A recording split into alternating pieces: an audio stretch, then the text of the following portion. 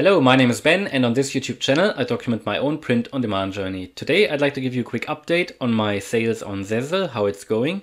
This is a print-on-demand website which is entirely free, very similar to websites like Redbubble or Spreadshirt. The difference is that it's a bit more complicated to upload to Zazzle, but I have done a upload tutorial a few weeks ago, which um, you can find if you search through my videos. And um, yeah, so far I've hit 25 sales after uploading for, let's say, five months to Zazzle. And in the same time period, I've made more, uh, well, I've made less sales on Redbubble than on Zazzle, which I think makes Zazzle a really interesting Redbubble alternative. I guess it always depends on what kind of designs you have. I know that for some people, some platforms work much better than other platforms and um, it, it's just what it is. I think on Redbubble you're really good when you can sell uh, when you can sell a lot of stickers. I think that's what you know what's happening there mainly. I think stickers are Redbubble's main um, product. And on Zazzle here, I really sell across the board. I've sold stickers, I've sold masks, I've sold t-shirts and all sorts of things, also baby bodysuits. And I'm really happy with the 25 sales. Now, what you can see here that the um, the royalties are pretty low, and the reason for that is that in the first few months that I've uploaded to Zazzle, I only had a royalty of five percent, which to be honest is really low. But I just wanted to see how it's going at the time, so I started quite low, and then I've um, step by step increased my royalties for new designs that I'm uploading to 15% now. 15% um, is the maximum that Zazzle recommend, which doesn't mean that you couldn't go higher. And this is what I might do as well, because since I've increased my royalties, I've actually had more sales come in, which is an odd phenomenon, which I've also seen on Redbubble recently. When I increased my royalties, then I had suddenly no new sales. So I don't know why that is the case, but anyway. But uh, all I wanted to tell you today is that I've got more sales on Zazzle than on Redbubble, which means that I know that a lot of people out there, you as well maybe, are struggling to get sales on Redbubble. So why not try one of these platforms like Spreadshirt or Zazzle? Zazzle is, of all the free websites, it's actually my second best performing platform in terms of sales. So just after Spreadshirt, I've got Zazzle now, then I've got Redbubble, and then I think I've got um, Society 6 and then all the other ones like Shirtee and Tostadora.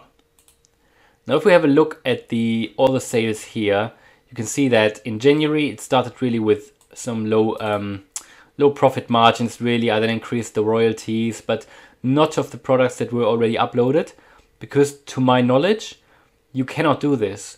To my knowledge, you cannot change easily all the royalties of the products you've already uploaded on Zazzle. Well, if you know a way, let me know. I don't think you can.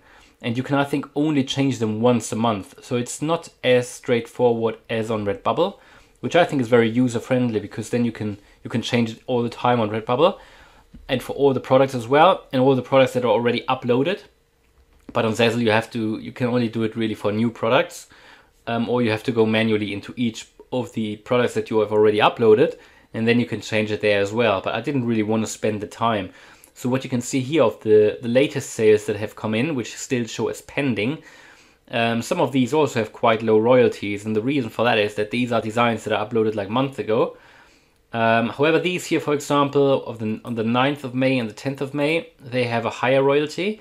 So these are some of the newer products that I've uploaded, and also here the latest one, which is just a sticker pack. And I'm getting 244 for a sticker pack, that's not bad.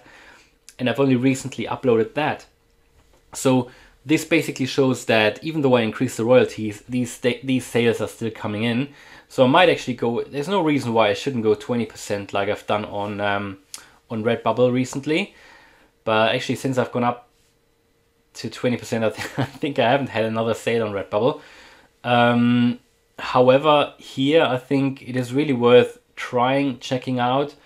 Yes, it's a bit more painful to upload, especially if you do it manually. So I always recommend use of use an upload process, um, an automated upload tool. The one I'm using is Flying Upload, as you can see here.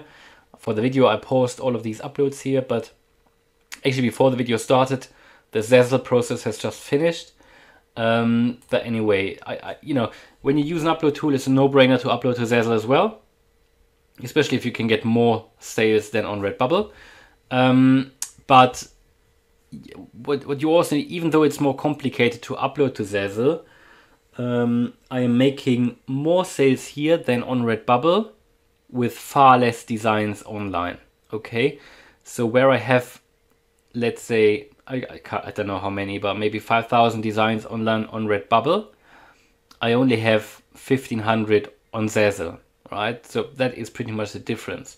Um, so even though it's more complicated to upload, you don't need to spend, uh, you don't need to upload that many designs. At least that is what's happening for me. You know, it could be different for you. I guess it all depends on the designs, but um, yeah, you don't need to, to my for my experience, you don't need as many designs on Zazzle as you need on Redbubble. And the reason for that might be that, to my, my opinion, is Redbubble is just oversaturated with people. Um, yes, you need to fill out this um, text form when you want to get paid on Zazzle. I think you need to do that on Redbubble as well. I'm 100% sure. Um, maybe not, but I think you need to do this for all US USA based um, companies. I don't think no, I think Redbubble is Australian, so you might not have to do it. Um, but still, I think you need to fill out a form anyway when you're a resident of a different country to um, where they are based. So yeah, this is pretty much what it is. So it's a really good up, um, really good um, progress here. And I just want to let you know that Zazzle is really interesting. So I hope you liked the video. If you did, then please smash the like button. And if you want to follow me on my print on demand journey, then subscribe to the channel. Thanks a lot for watching and see you in the next video. Bye.